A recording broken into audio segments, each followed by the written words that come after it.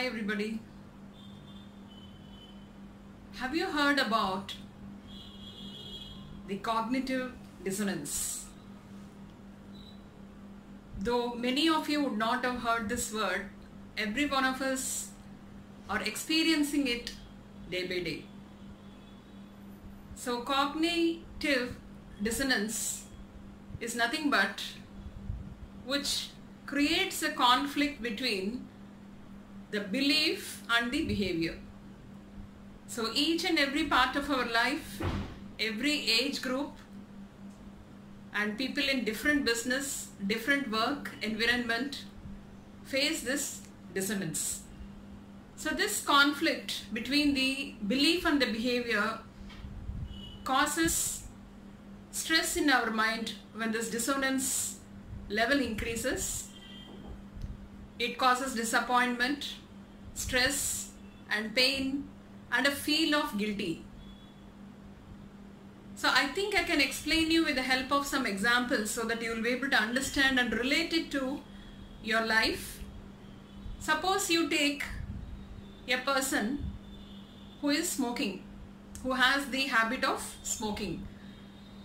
The same person knows very well about the injuries it is going to cause to his health.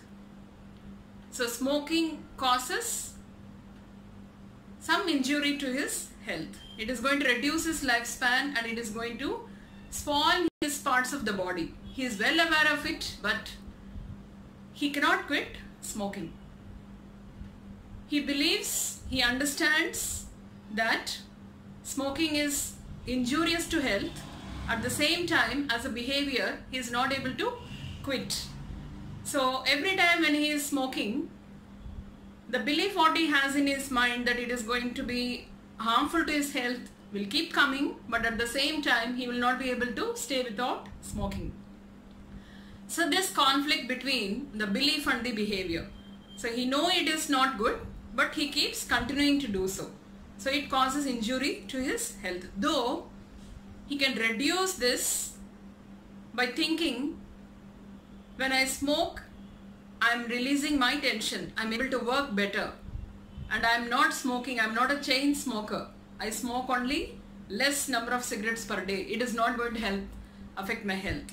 So this is one thing which people may keep in their mind to convince themselves and not coming out of the behavior. So here the belief and the behavior has a conflict and since the person wanted to convince for his belief but does not want to come out of his behavior. This is one example.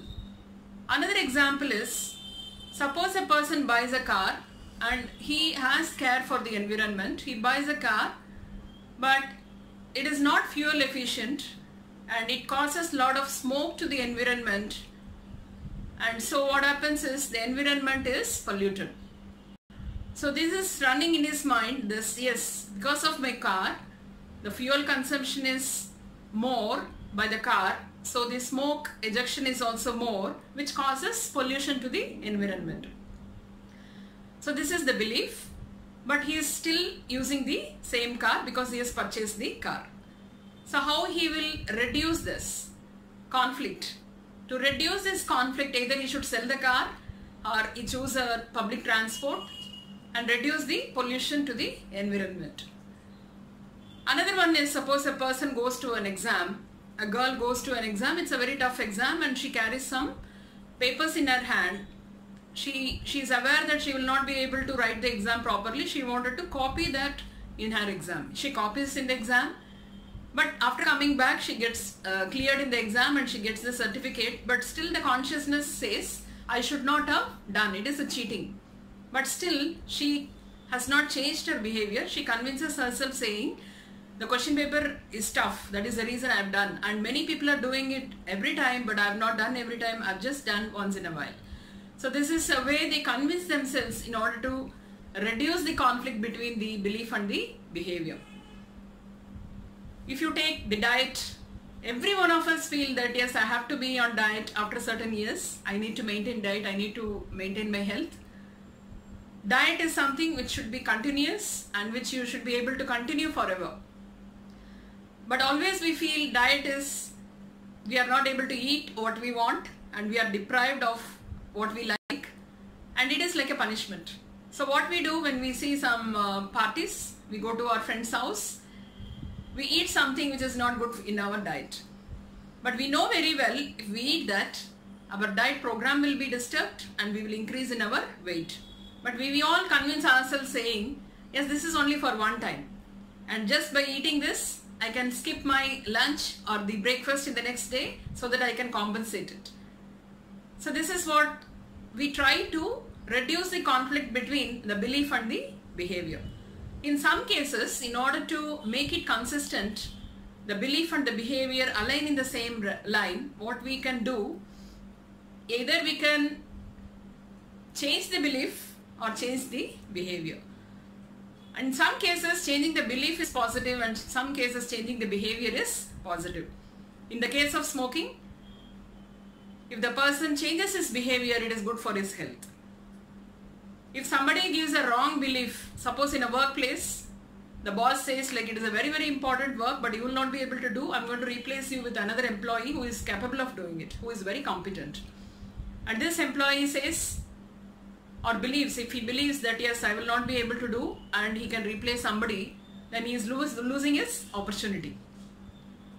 In order to align the belief and the behavior. Instead, he can change his belief stating that I can do it. Why don't I give it a try?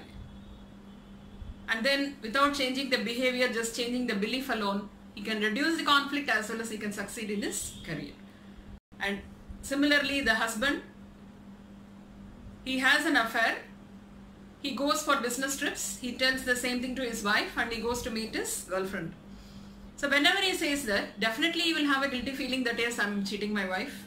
So that is his uh, uh, behavior is not changed. He's going and meeting her, but he thinks only if she come, wife comes to know about the truth, she will be affected or hurt.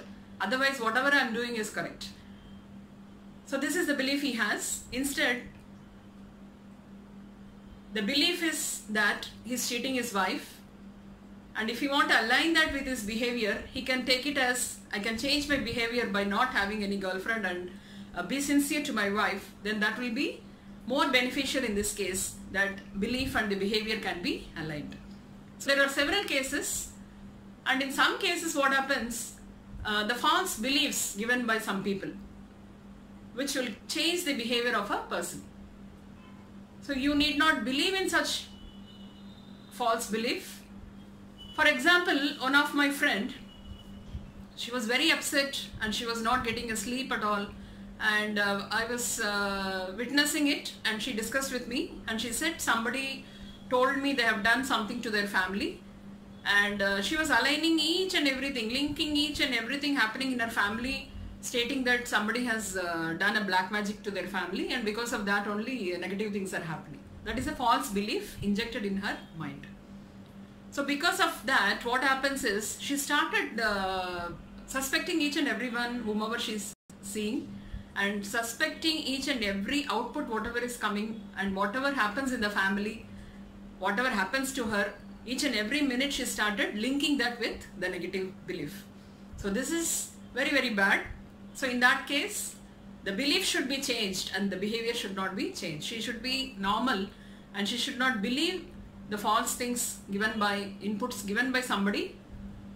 Instead, she can be cautious, she can pray to God and think positive which is going to remove all the black magic or whatever negative things people do to her because unless you allow something to happen, things will not happen.